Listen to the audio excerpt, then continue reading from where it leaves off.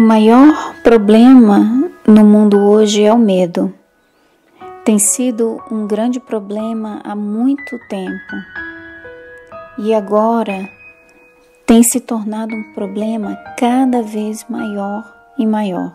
É claro que o medo, ele é um grande problema porque ele afeta tudo, tudo que nós sentimos e pensamos, tudo à nossa volta.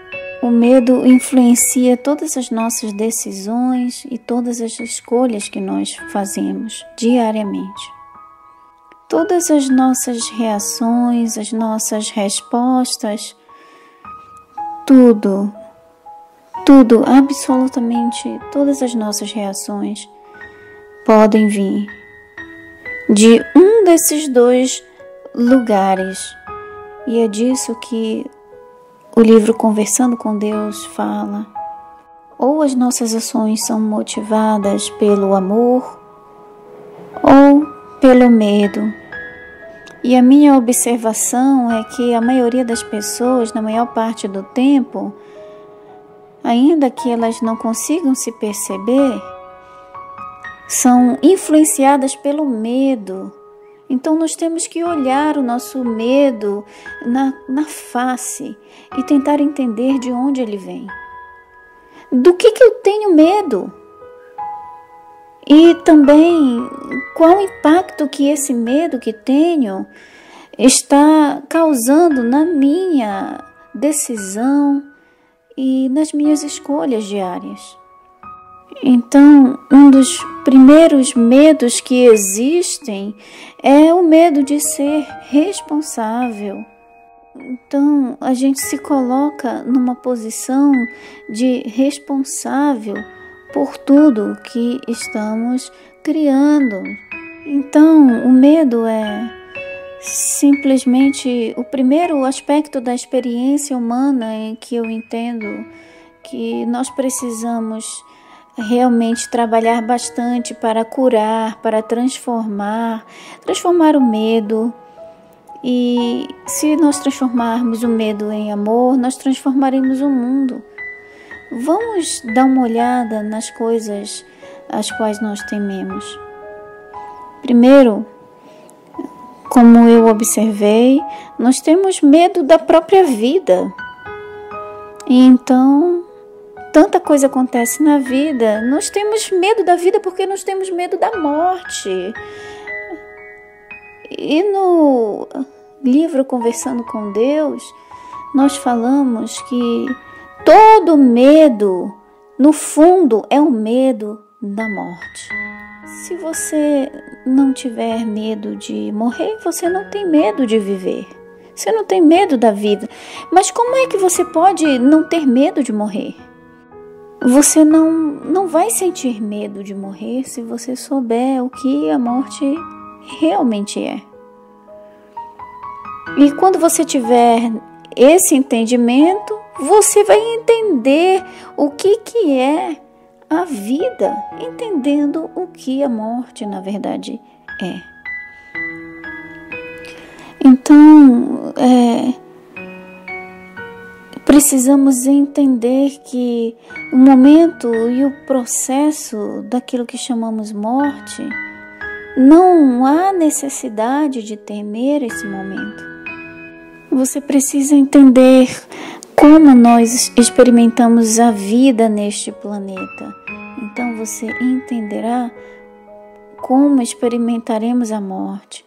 Quando você entende o que realmente é a morte, você não tem mais medo nenhum de morrer.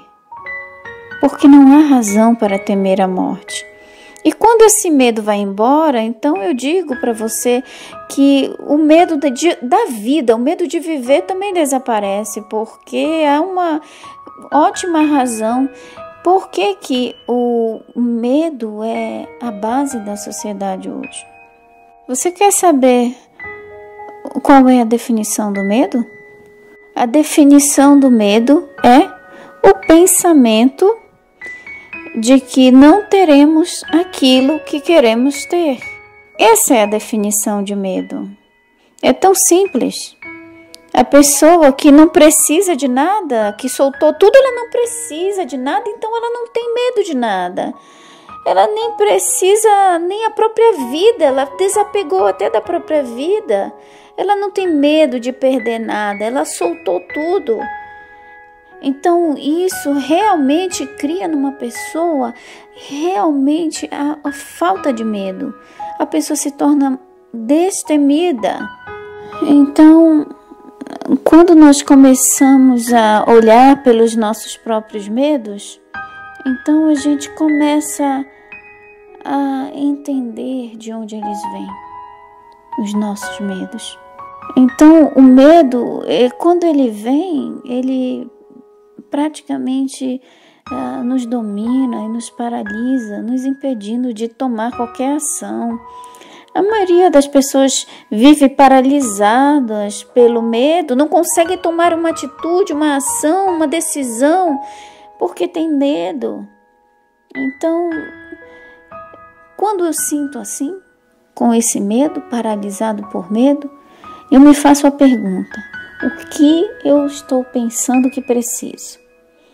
Qual o meu pensamento uh, do que eu penso que eu preciso? Então eu encontro o meu medo, porque o medo é isso. O, o, o medo uma necessidade ou um desejo anunciado. Então, o que é que eu penso que eu preciso? Será que quando então eu identifico que uh, o que eu penso que preciso, então eu começo a me perguntar: será que eu realmente preciso disso? É, e eu começo a imaginar: e se eu não conseguir ter isso que penso que preciso? Então eu começo a desafiar o meu medo. Eu começo a pensar: e aí? Se eu não conseguir isso, o que pode acontecer comigo? O que de pior pode acontecer se eu não conseguir isso que eu desejo? Então, há duas formas principais em que o medo se manifesta. A primeira é na ideia de que eu não vá conseguir aquilo que eu penso que preciso. Ou então na ideia de pensar que eu posso perder alguma coisa que eu já tenho e que eu preciso, que eu acredito que preciso, já tenho, mas tenho medo de perder. Então, essas duas perspectivas geram o um medo profundo no ser humano. Então, é a forma mais comum uh, pela qual uh, se manifesta o medo, principalmente nos relacionamentos amorosos o medo de perder, medo de perder o outro. Nós também temos medos ao redor do dinheiro, medo de não ter dinheiro suficiente ou medo de perder o dinheiro que temos. Medo também na área do poder, da autoridade, medo de perder o poder que temos em alguma área da nossa vida, medo de perder a saúde e muitas outras áreas da nossa vida. Mas mais do que uh, tudo isso, um lugar mais frequente onde vemos que o medo surge, a maioria é nessas, nessa área dos relacionamentos, de um tipo de relacionamento, seja amoroso, familiar, de amizade, profissional. Então, as Relações se tornam delicadas, há medo envolvido. Então, primeiro vem o medo de alguém não me amar, de ser rejeitado, de não ser bom o suficiente, de não ser amado e aprovado pelo outro. E até o medo de perder o outro. Então, como que eu resolvo? Como que eu curo esse medo de perder o outro ou de ser rejeitado? Eu tenho que entender quem eu realmente sou. Eu olho para dentro de mim e entendo quem eu realmente sou. E entendo que eu não preciso da aprovação do outro, do amor do outro, para ser quem eu sou.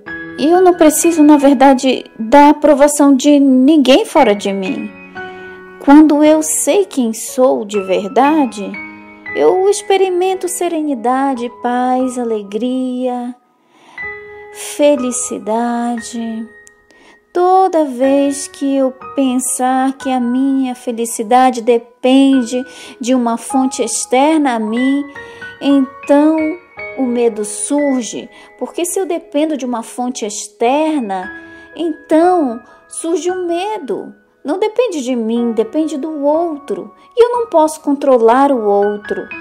Então o medo surge. Mas quando eu olho para dentro de mim e entendo que eu realmente sou suficiente para mim mesmo, então sim eu me torno uma pessoa sem medo, uma pessoa completa, e então eu me torno uma pessoa muito mais atraente muito mais interessante, porque as outras pessoas têm a tendência de gostar de quem tem autoconfiança, de quem tem amor próprio e quem se aceita, porque transmite essa autoconfiança que muitas pessoas estão procurando.